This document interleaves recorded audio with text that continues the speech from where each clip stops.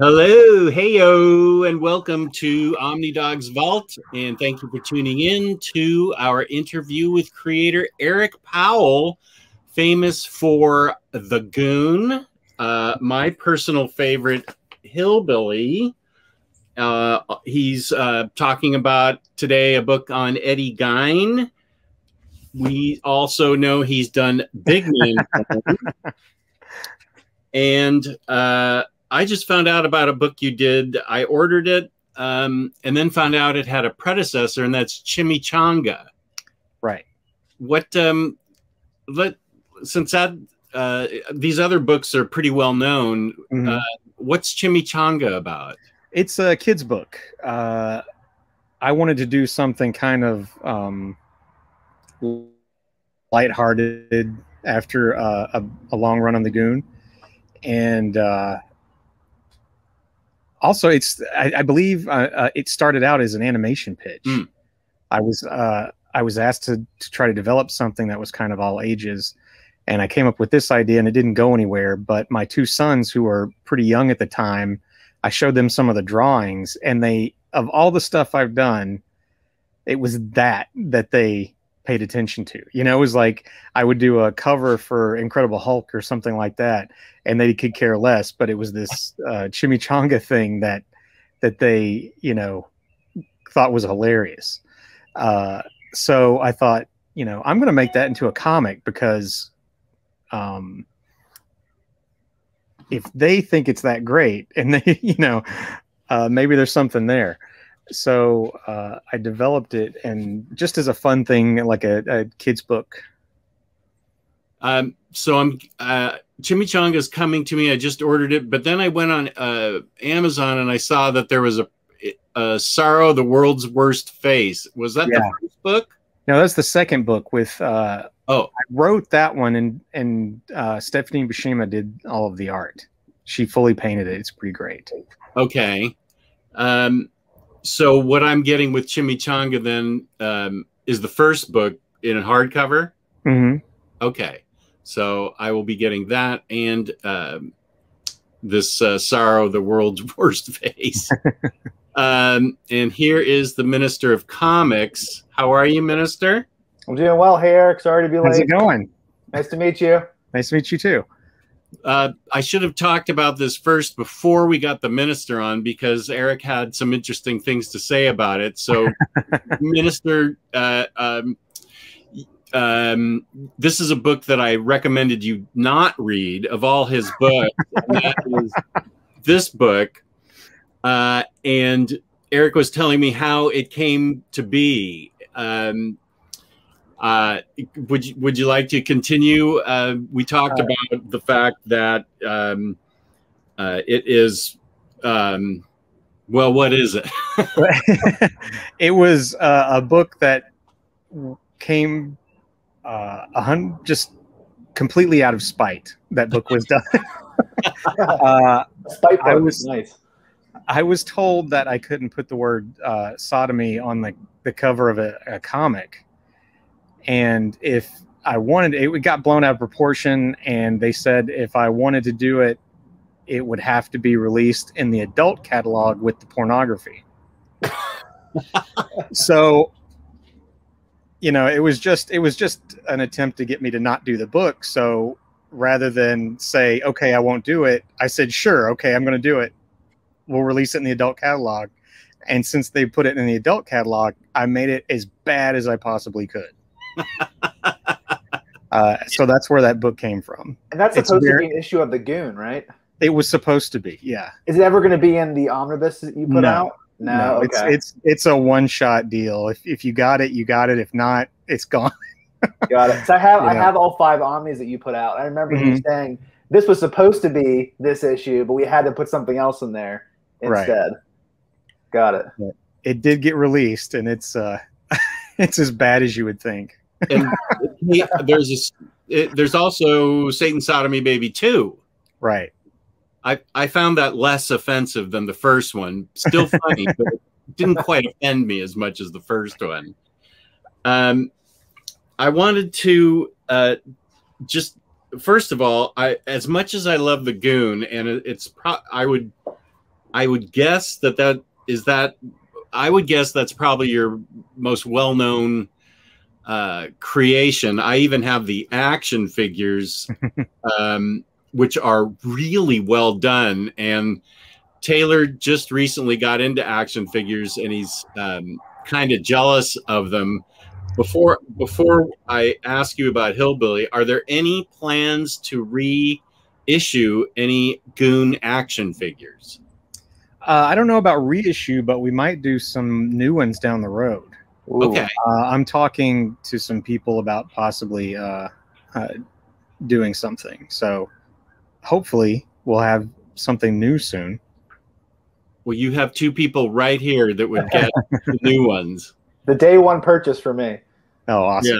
Yeah. yeah. We both love the Goon. And um, uh, I was, I'm attra- attracted to your art at first. And then your writing is so um, just, dr- uh, the humor is so dry and crisp that that's what captures my attention. and Hillbilly um, I really sang the praises of this uh, in a collected editions group on Facebook that I was part of for a while. Thank you. Um, oh, sure. And I think, uh, well, I know I made a video of it. It's in it's in my video catalog, my library. Um, I I loved this book. Um, if it's possible, I loved it even more than uh, the Goon, and this is under your Albatross, mm-hmm. your own label. Mm-hmm. Um, how? What are the day-to-day operations like? Are you are you uh, really involved with that, or um, have you? Yeah. Okay. Can you tell us about owning your own imprint? Well, it, and we're we're a small independent publisher, so it's not uh, a giant operation. Um, uh, Andrea and I run it for the most part, and then we uh, have uh, freelance contributors that help us. Um, our editorial is is freelance, and um, marketing for the most part. Uh, we do a lot of that ourselves, but we also, um, you know, hire some outside help from time to time, and then you know all of the artists other than myself are, or freelance. What are some titles that are coming out from Albatross that you're not personally writing or drawing, but you're really excited about? Uh, we don't really have uh, anything on the schedule right now uh, that I'm not involved with. Um, the uh, we have a book coming out called uh, that I'm writing with uh, Lucky Yates, who is the voice of Dr. Krieger on um, uh, I'm drawing a I'm drawing a complete blank. Um, Dr. Krieger. Uh, Dr. Krieger on the uh, oh my god, I can't I can't believe I can't remember the name of that show. Well, it'll come to you. Um, yeah, I, am It's one of those uh, just hit a blank, like forgetting someone's name. It'll pop up when the um, It'll pop up. Yeah. anyway, um, Lucky Yates, a great comedian and and voice actor, um, and uh, a guy named Matt Cushing and uh, the artist. Um, oh my gosh, I'm having the worst memory right now. I'm completely spacing. I think I, I freaked on the uh, the show name, and now I'm uh, Gideon Kendall uh, is the artist. Oh, I'm I'm having. That's okay. We're, you're, you're, in a no judgment zone. We're we're okay with it. Um, so uh, that's and that book is called Lester of the Lesser Gods. It's it's a pretty pretty funny book. Um, it's about a uh, a larper who uh, in the the real world he is completely um, kind of just mistreated and uh, alone and and not very happy and then the apocalypse happens and uh, he finds out that he is uh, one of the many sons of Odin and uh, fights Satan to save the earth.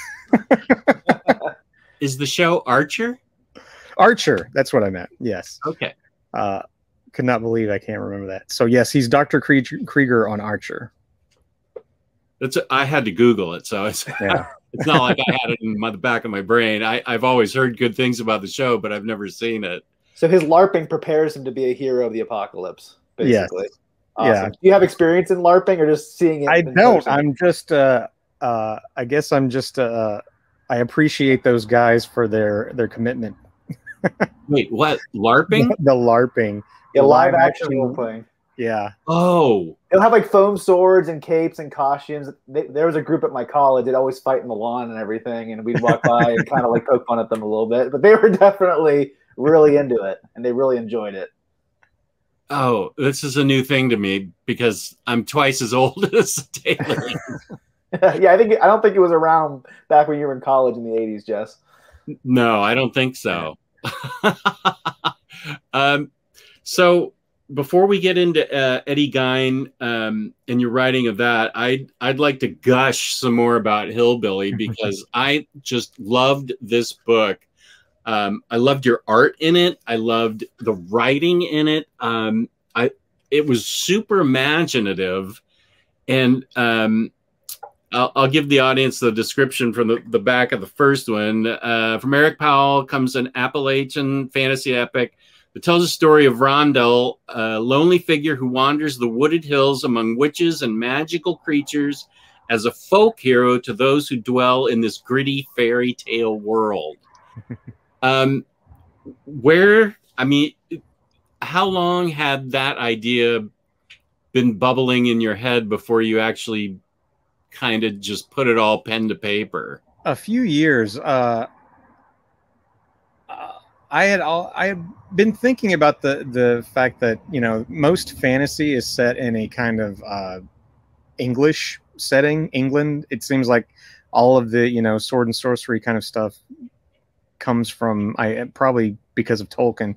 Um, seems to uh, the the backstory always seems to be kind of uh, based on old English mythology, and um, I had the idea that it would be kind of interesting to do a fantasy and basically take Conan and put it in Appalachia.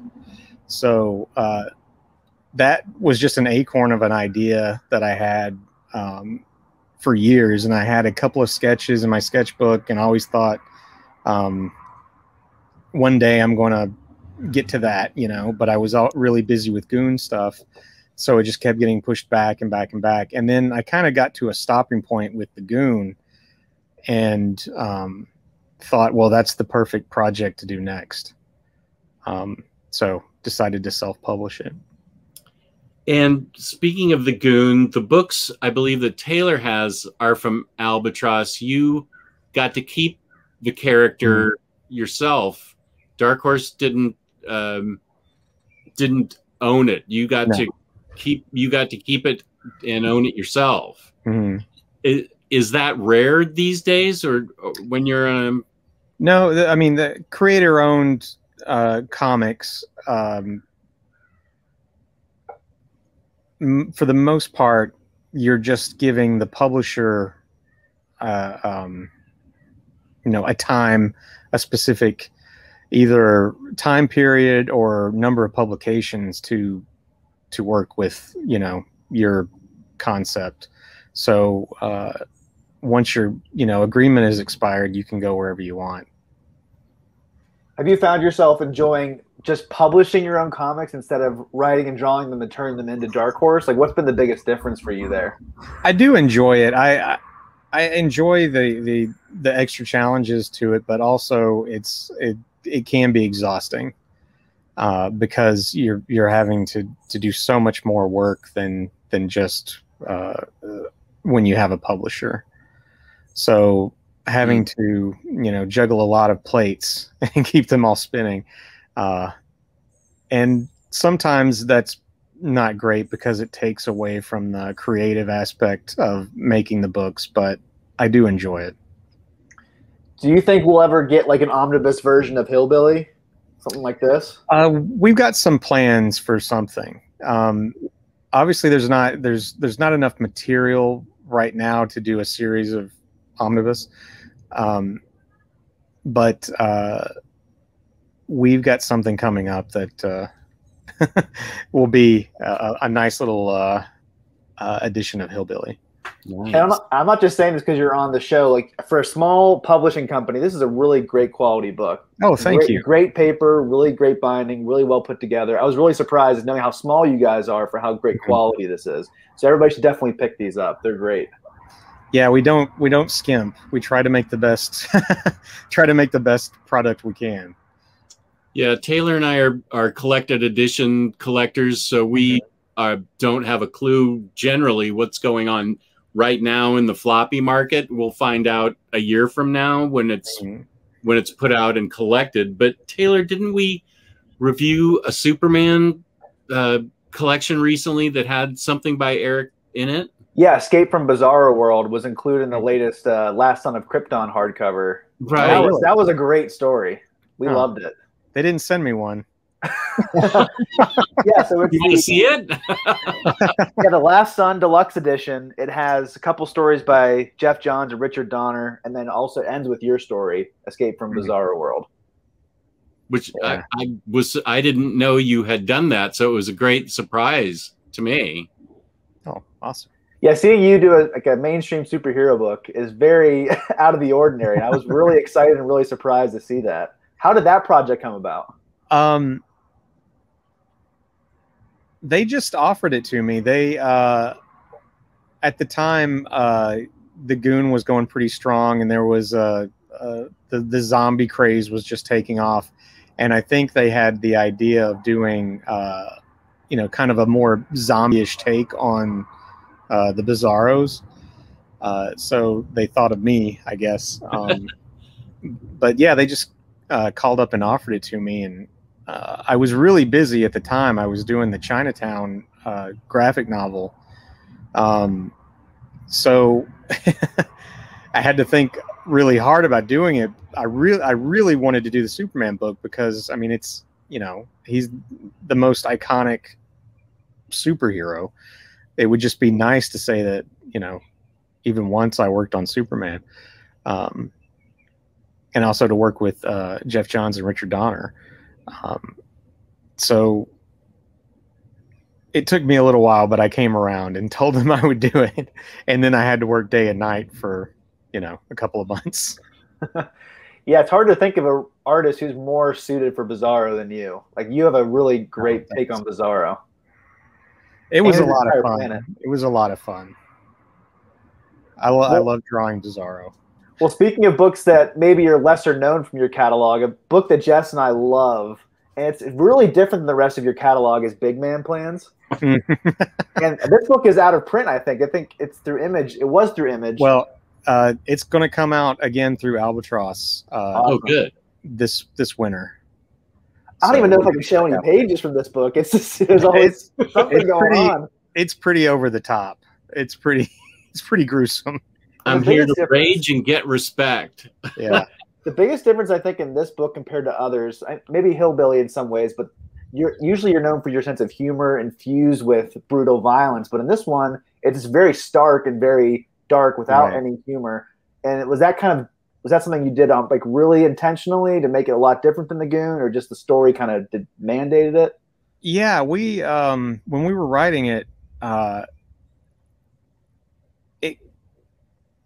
it got dark real fast. Because you're dealing i mean it's the the the theme of the book is you know uh how does a marginalized individual um react to the world you know around them and and uh and the idea of someone uh who is marginalized and looked down upon and not considered a threat what if they were the person that could go into a bar and literally destroy everyone in it? So uh, that's where the the it it started. And then as tim and i were developing the story uh, it just got really really dark. And um, I think to add any humor to that would be, uh, you know, if we're doing a story about a marginalized individual, to add humor to it would almost distract from that. You know, in a, in a, in a way, it would take away from the fact that you know we're this, you know, as the tagline you just mentioned says, "I'm here to rage and get respect." You know, not, uh, you know, uh, be weird to make comedy of that. And also the uh, there was a lot of uh, uh, the theme of Pagliacci, even the uh, um, the T-shirt that he wears. You know the um, hang in there. Yeah, and the the last line, uh, or there's a there he scribbles uh, some graffiti on the wall at the very end of the book. Right. Um, and it tr- it's it's in Italian, but it translates to "the comedy is over." so his his he was a joke his entire life, and then the, he ended it. You know, so um, yeah, that's the final panel. I don't want to show Yeah. it to give anything away, but yeah, that's the final panel. yeah, Yeah, my uh, Instagram page, I reviewed it recently, and I said right off the bat, I love this book, but it's not going to be for everybody. Just for no, So I was telling Jess, this is probably the darkest book I've ever read. I think. Wow. At least top top three. And I'm not complaining. I like dark Yeah. books. But I was like, wow, this is a really brutal vision. Do you think you'll ever come back to this title, or do you think it's a one and uh, done? we have a follow up. Uh, we just have to um, uh, figure out the timeline to to make it work. Work. Look at this, Taylor. We're getting all kinds of stuff. There's going to be Become- new Goon action figures. There's a follow up to Big Man Plans, possible uh, uh, reprint of the Big Man Plans. Uh, Maybe a hillbilly omnibus in the future. We're Hillbilly getting, we're getting all the stuff that we want. This is great, Eric. this Well- is great. These are What else can speculative. we ask? What else can we ask for? Um, you do have a new book coming out. Um, uh, did you hear what Eddie Gein done? Yeah, Uh, the famous Gein or Gein. He he. Yeah, his family pronounced it Gein. Eddie His, his family okay. pronounced it Gein, but uh, it would, if you're going to get technical, it would correctly be pronounced Gein. But I'm gonna, I'm just going to say what the family used it, so it was Gein. But Okay. Yeah. So how Uh, how what's this one about? About I mean, is so I um I was a I'm a big fan of of Harold Schechter, who is a uh, true crime author. Um, he's my favorite true crime author. Uh, and uh, I was driving through uh, Wisconsin on a, a book signing tour, and you know, just driving through some of the stark landscape. And uh, of course, I was familiar with the the story of of Ed Gein, and um, I thought uh, it would be great to to it, it would be interesting to do a, a graphic novel, kind of exploring the how you know the isolation that he lived through um, contributed that. It, so for people. Uh, 50s Uh, I'm sorry, you just dropped out a little bit. Uh oh. and and I'm I'm sorry, you you broke Oh, up there. You were explaining who he uh, who he was. uh, he was a murderer in the the 1950s who did some really bizarre crimes and uh, he's the basis for Leatherface in Texas Chainsaw Massacre and uh, James Gumb in uh, uh, Silence of the Lambs or Buffalo Bill in Silence of the Lambs. Um, so uh, I thought it would be interesting to explore that and this his isolation in Wisconsin led him to uh, basically uh, dig up graves. And uh, so he had a very and also he's the basis for uh, Norman Bates and Psycho, which is more closely related than the other characters uh, that have been based on him because he had a, a fixation with his mother, And when his mother died, he was left alone in this really isolated farmhouse and ended up going to cemeteries and digging up uh, elderly women that reminded him of his mother. He would scan the obituaries and uh, as like replacements for her. Um, really, really bizarre. And he ended up uh, committing a couple of murders. Um, I just thought that explore like uh, exploring that isolation would be um, interesting in a graphic novel, but uh, Harold Schechter had already done a book on Gein in the '80s, and it, it's phenomenal. Uh, phenomenal. He uh, is pretty much the expert on this case. Um, so I thought, well, there's no point in doing a graphic novel or anything because it's not going to be any better than what he's already done. But a couple of days later, I had the idea like, well, I wonder if I reached out to him if he would be interested in collaborating on uh, a graphic novel because there's in you know since the 1980s there's bound to be more evidence and and you know facts that he has uh, dug up since then. So I contacted his agent um, with not a lot of hope that anything was going to become of it. And um, much to my surprise, he's a huge comic fan mm. and uh, knew who I was and and had always actually wanted to do a graphic novel. so uh, he he was all about it. And then uh, we started collaborating, and uh, he took my small idea of of kind of exploring the isolation of of that and and turned it into a much bigger uh, exploration of of how his crimes affected, you know, the psyche of 1950s America. It was a big story at the time, and it just you know in the the kind of sanitized realm of the 1950s. Of course, a guy who is making masks out of human skin and stuff like that is you know absolutely shocking so uh, we, you know, we go a lot into the uh, Harold had you know access to to his psychological reports and things like that. So we delve really deeply into, you know, how he was created, his his early family life, um, and uh, yeah. So it's uh it's again it's not it's not a book that's for everyone someone uh actually i was promoting it on facebook and someone said you know i love your work but I don't, i'm not into books about you know serial killers and stuff. And i said you know just be aware this is not a glorification of him or his crimes. This is you know an examination of what led to this person. Uh but it, but the book but that's okay if you don't want to get it. It's not for everybody you know. So uh, you have to to uh, be into the true crime genre for this one. Well, there's a lot of people into the true crime genre right now. There's so many true crime podcasts, right. so many Netflix shows. There definitely is a big market for this. For those of us who can stomach this book, when will it be coming out?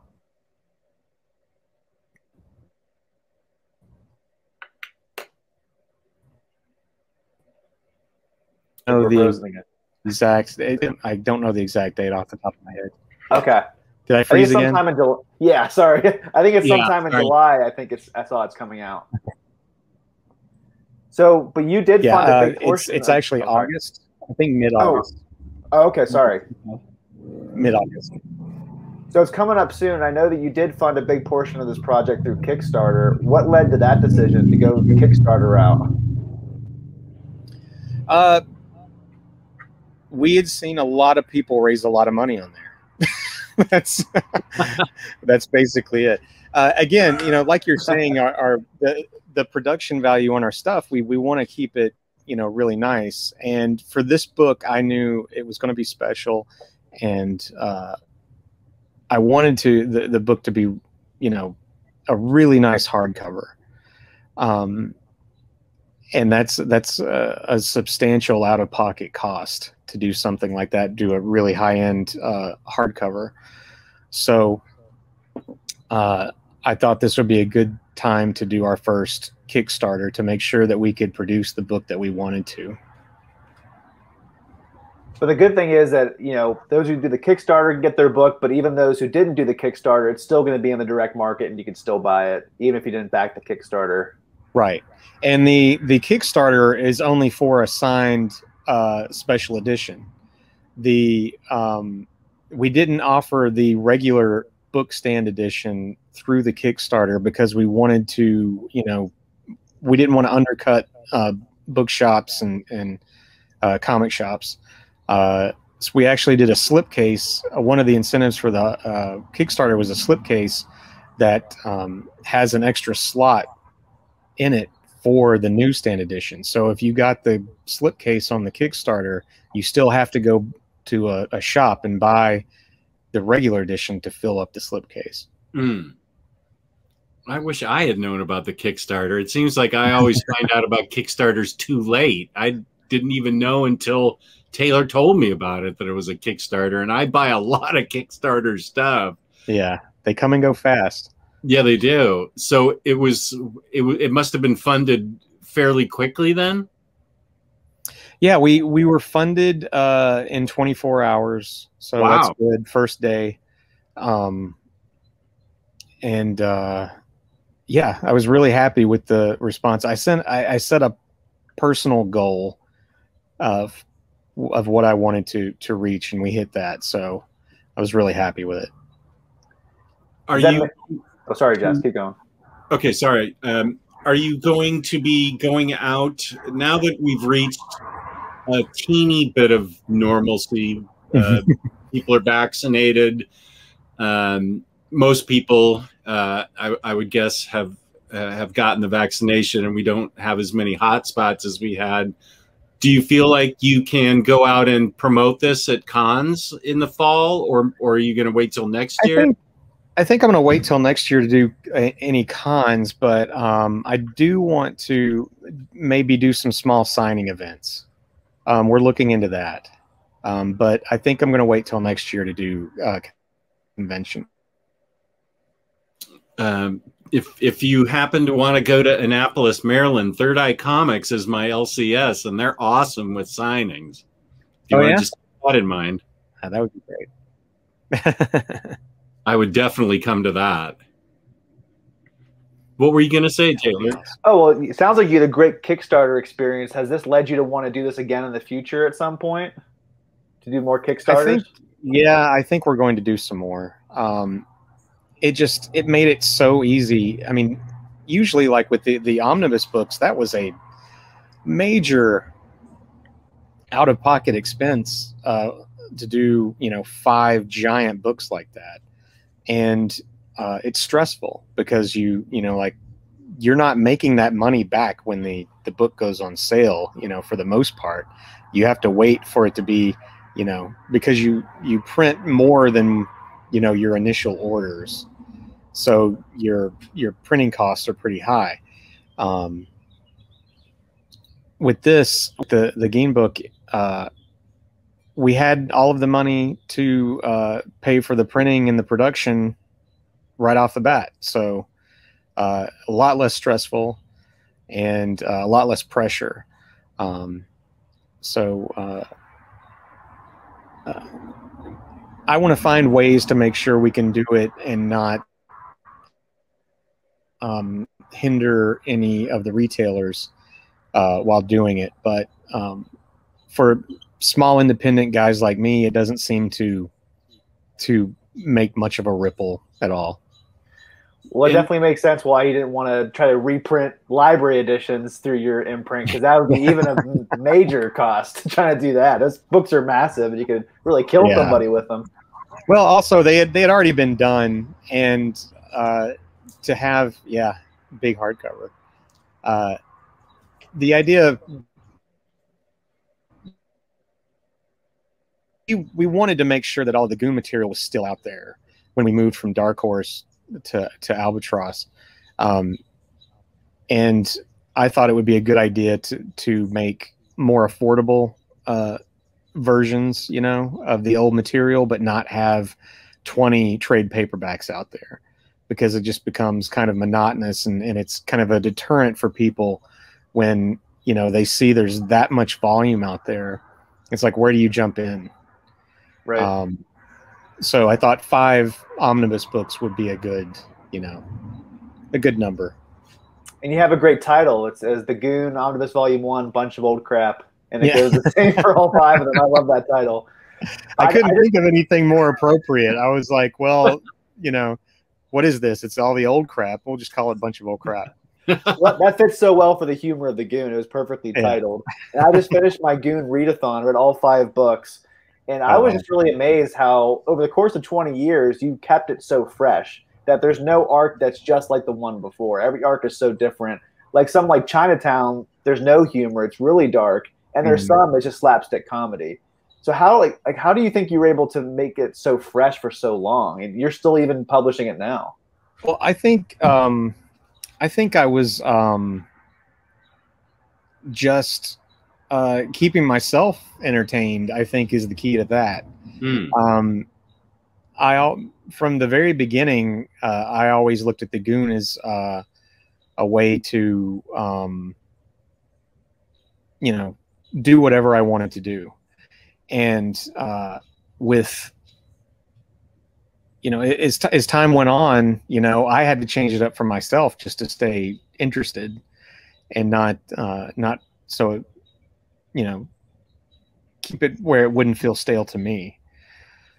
Uh, so a lot of the art style changes from even issue to issue, just because I wanted to experiment or try something else, and um, the stories go back and forth with you know my mood and what I wanted to write at the time. Um, you know, sometimes the stories would get really dark, and then they would go really goofy, and uh, you know, I think yeah, it was just all about selfishly keeping my myself entertained. Well, you could definitely tell that you're like flexing your muscles and trying to work out your art because it's so you challenge yourself almost every issue. And even within issues, you'll have like three different art styles.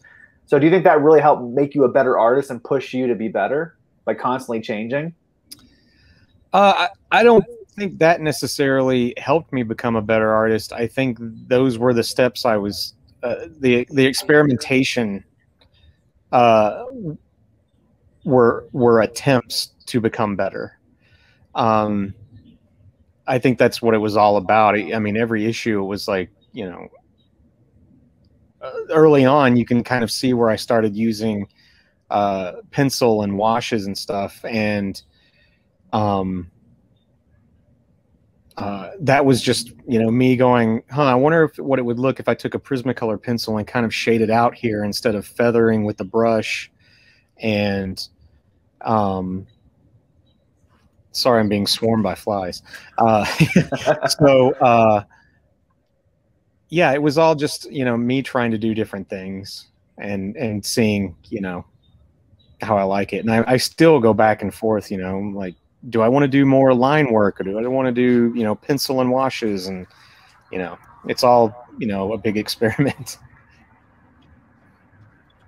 Yeah, because I noticed the uh, when you say washes and stuff, uh, Hillbilly um, has uh, some of the same art style as uh, uh, the Goon, but then it, there are other uh, panels that seem to be uh, completely different. And I mean, you even uh, experiment with color. Uh, I don't know, not experiment, but you you throw in color changes uh, to emphasize characters Right. in it. Um, and I- noticed um, right away that while it had uh, goon style art elements, it seemed hillbilly to me seemed to be uh, uh, a completely different type of uh, not style, but it it had uh, different. It was different in its presentation than the goon. Yeah, I uh, I wish I could go back and, and do Hillbilly a little differently. I think I, I wish I could have. I, I think uh, in some of the later issues, I did. Uh, I think actually in the free comic book day that came out was the last thing that came out um, of Hillbilly.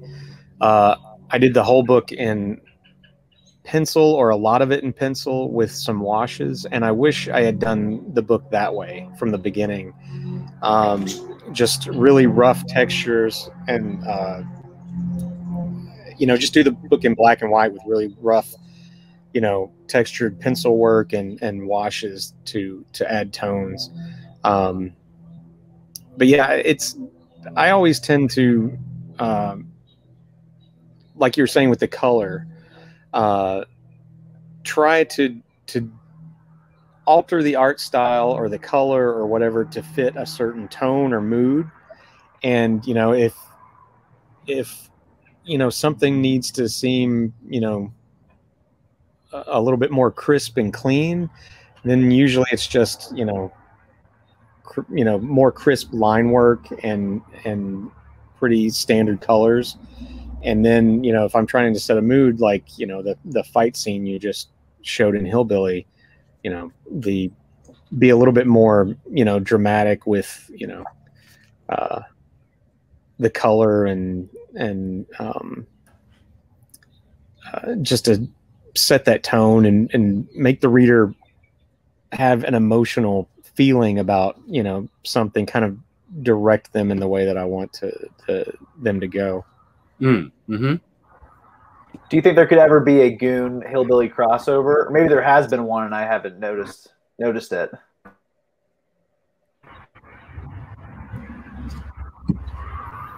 I'm sorry you froze up there at the end. What was Oh. the, the Sorry about that. The end of your question? Do you, do you think there'll ever be a Hillbilly Goon crossover? Maybe there already is one. I just wasn't aware of it.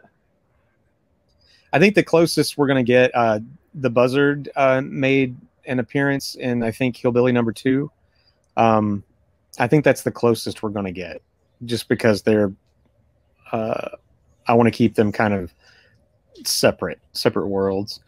But um, uh, Buzzard, uh, the last time we saw him in the Goon, he kind of became like the embodiment of the embodiment of death, kind of like the the Grim Reaper. So I felt like it was okay to have him kind of walking between worlds and and also uh, being that kind of death character in in Hillbilly.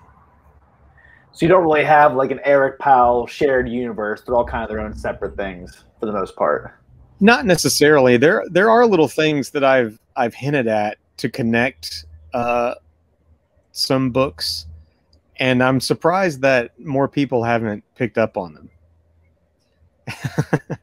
Uh-oh. I did That's little things. Like I missed some things. I did really like the Hellboy Goon crossover. That was Oh, really thanks. cool. That was really funny. yeah, that was fun. We'll have to go back and see if I can catch anything on the second read through at some point. Um, what um, do you um, when you have to, today? You told me you've been doing a lot of yard work. Mhm. Is when you sit down to create, uh, what kind of uh, uh, uh, setup do you have? Is it a do you have a dedicated room where and you work in silence, or do you like music or anything on in the background? Yeah, when I'm uh, when I'm writing, I have it has to be silent, or uh, I l- actually put on uh, a lot of soundtracks. Anything that doesn't have vocals, because Right.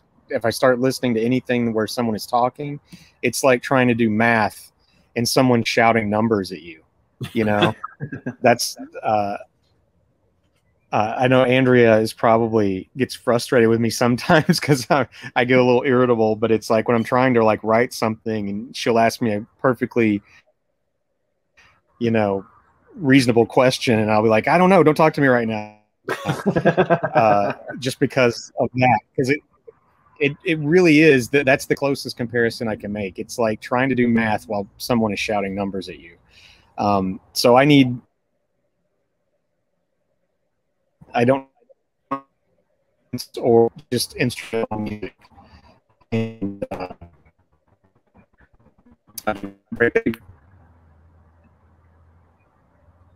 Okay, did we freeze up there?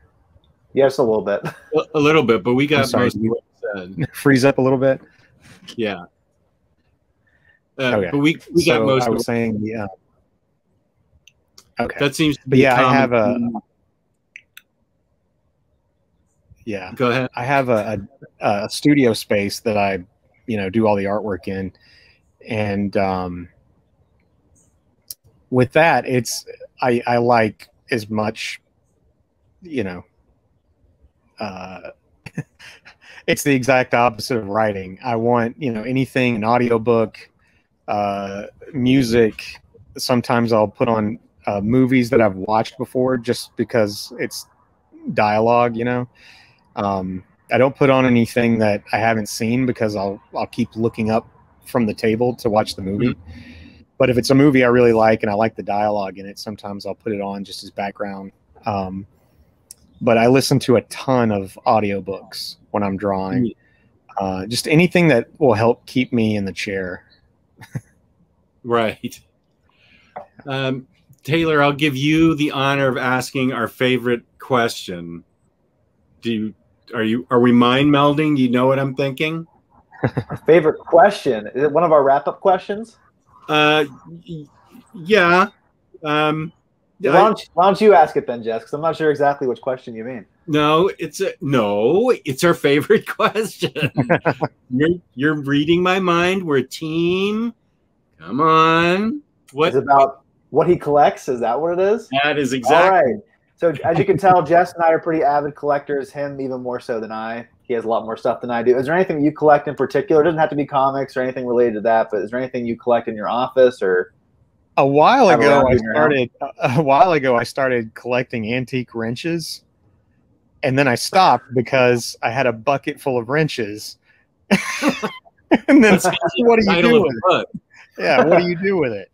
It's Uh, photo reference for the Goon because the Goon likes to use wrenches to. yeah what's zombies. great is i found like some little like maybe six or seven inch antique wrenches and they're perfectly to scale but they're tiny and have little wooden handles and they're great old wrenches i don't know when they were made they're pretty old but uh, i keep uh, one of those by the table to use as reference for the goon um, Well, you're you're definitely the first creator to tell us that. uh, I also uh, I collect a lot of art books. Um, you know, uh, just artists that I like. Um, a lot of illustration books, things like that. Who? I know. Oh, sorry, Jess. no, go ahead. My know- question was Totally off the wall. Okay. Yeah. So the one thing I really want to hear from you, especially being more of an indie creator, having your own publishing company, what do you think about the way that what do you think about the comic industry as it is in 2021, and how would you kind of like to see it change or evolve in the next couple of years? Do you have any thoughts about that?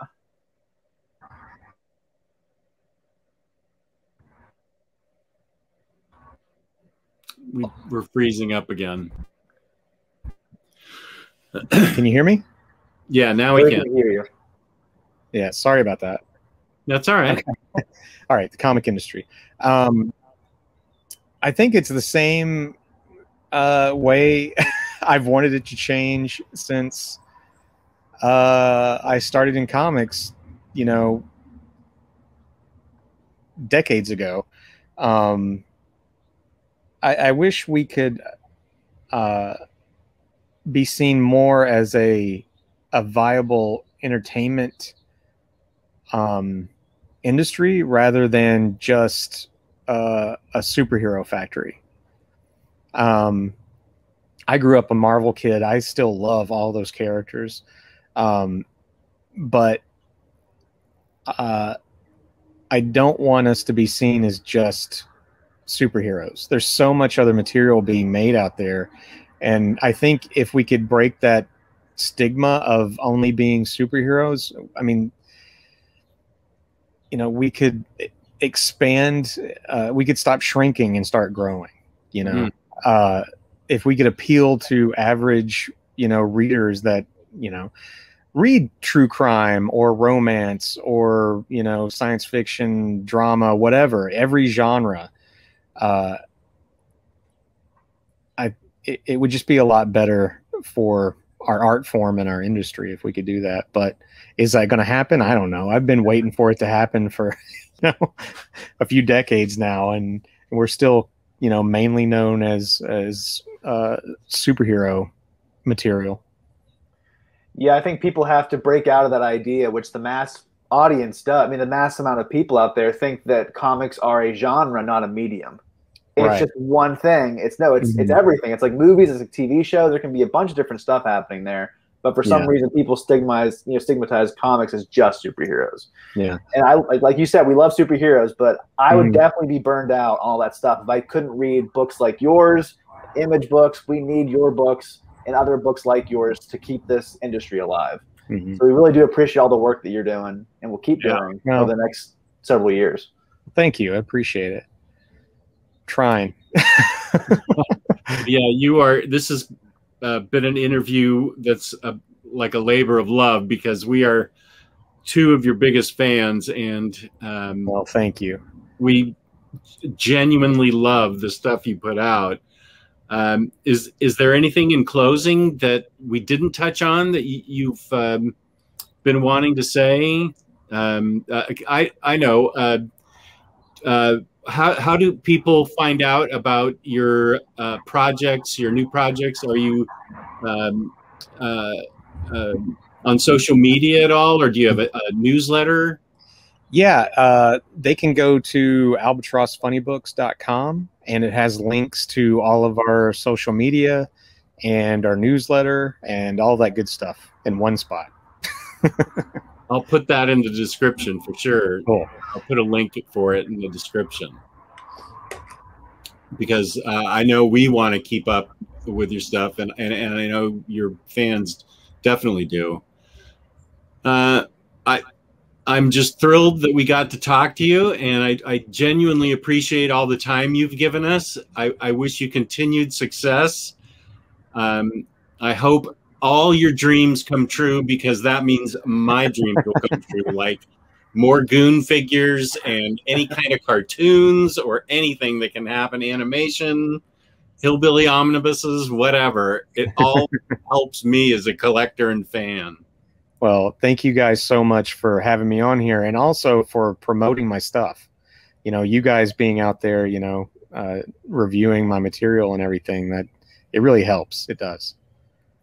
Yeah. So your your your, ne- your next book, which we already talked about, did you hear what Eddie Gein done? That's coming out, I think, a month, month and a half from now, somewhere Mhm. late July, early August, somewhere Mhm. there. So definitely keep your eyes peeled for that book, everybody. It sounds like it's going to be a, a big one for us crime fans.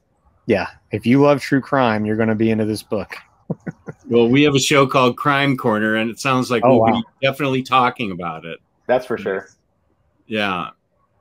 Well, thank you so much. We Oh, really appreciate it. And Thanks for uh, having me. everybody out there, uh, please go to albatrossbooks.com and thank you for watching. We appreciate uh, every, every fan and every viewer that we get. So please hit the like button, subscribe, and comment. And uh, the Minister of Comics IG will uh, Instagram address will be in the description as well as mine. And peace and love, peace and love. Thank you so much for watching.